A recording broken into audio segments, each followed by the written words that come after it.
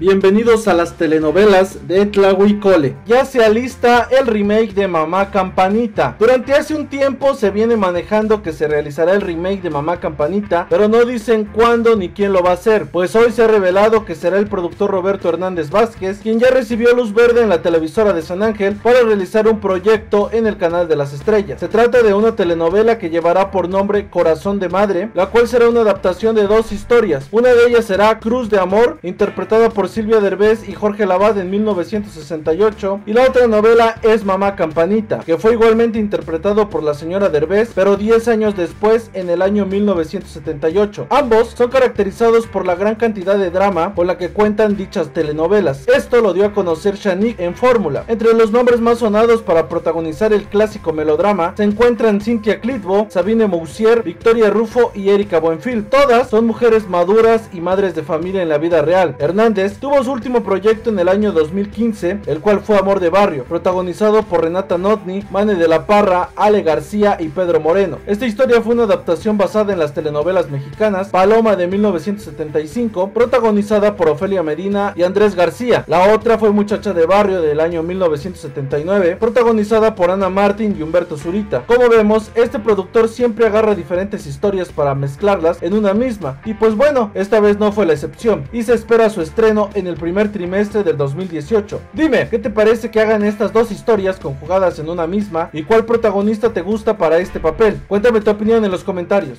Y antes de irme, no te olvides activar la campanita de notificaciones para que te avise cuando yo suba nuevo video y estés al pendiente de tus telenovelas y series favoritas que se empiezan a grabar durante este año 2017.